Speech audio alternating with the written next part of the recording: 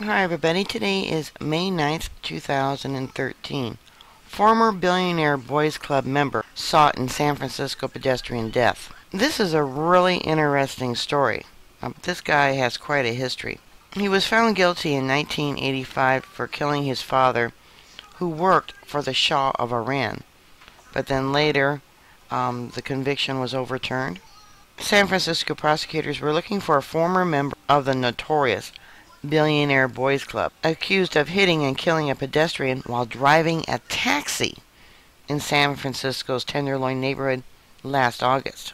Reza Eslaminia, 52, has been charged with a misdemeanor vehicular manslaughter. Can you believe that? But is nowhere to be found, the city's district attorney said Thursday.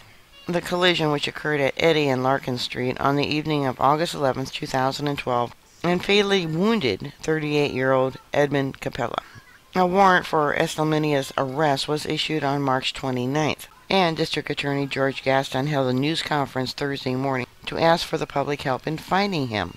He needs to be arrested and needs to be brought to justice, Gascon said. In 1985, Eslaminia was convicted of murder for the 1985 death of his father, a former employee of the Shah of Iran, although the conviction was later overturned in San Mateo County Superior Court in 2000. Eslaminia and his friends were part of a social and investment group dubbed the Billionaire Boys Club, created in the 1980s by young men from prominent Southern California families who had an affinity for luxury cars, designer clothes, and get rich quick schemes. The club's leader, Joe Hunt, was convicted in the 1984 slaying of a con man who duped him and sentenced to life in prison. Last August, prosecutors said Eslaminia was driving a Lexus cab on Eddy Street and traveled through a red light at Larkin Street, where the taxi was struck by a bus. It spun around and hit Capella, who was walking legally in the crosswalk. Capella had just left a celebration of his youngest daughter's first birthday earlier that day and leaves behind two other children, including a daughter with Down syndrome. And that was according to his father in law, who attended today's news conference. So Talio and his wife were retired but had to go back to work again to fill in the shoes of his son in law, he said. The shoes are too big. Gascon said the case has touched our office very, very deeply, and that prosecutors had initially sought felony charges against Eslaminia, but did not have adequate evidence to prove the case beyond a reasonable doubt.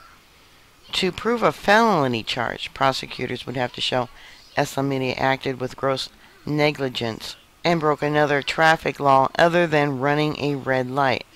Gascon said police did not draw blood from Eslaminia after the collision, a step prosecutors believe could have proven he was driving under the influence, and have not found videos or other evidence showing that he was speeding into the intersection. Nevertheless, the district attorney calls Eslaminia's conduct egregious and said he has shown a complete disregard for the life of others, noting a 2008 arrest in Los Angeles County for DUI. He goes on to say that Rathbone, an assistant manager for the cab company that he worked for, said Eslaminia never drove again for the company after the crash and was terminated days later. Rathbone said the company was not aware of Eslaminia's background when he was hired and that he had passed a clearance check by the San Francisco Municipal Transportation Agency, which issued his taxi driver permit. And it says anyone with information on Eslaminia's whereabouts is asked to contact local law enforcement or call the San Francisco Police Department's anonymous tip line at 415-575-4444 or you can text message TIP 441 with FSPD in the message.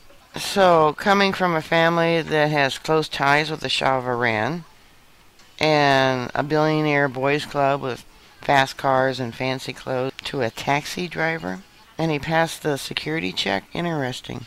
Alright, bookmark my site. I'll keep you up to date. Please stay safe, and I'll talk to you later. God bless y'all. Bye.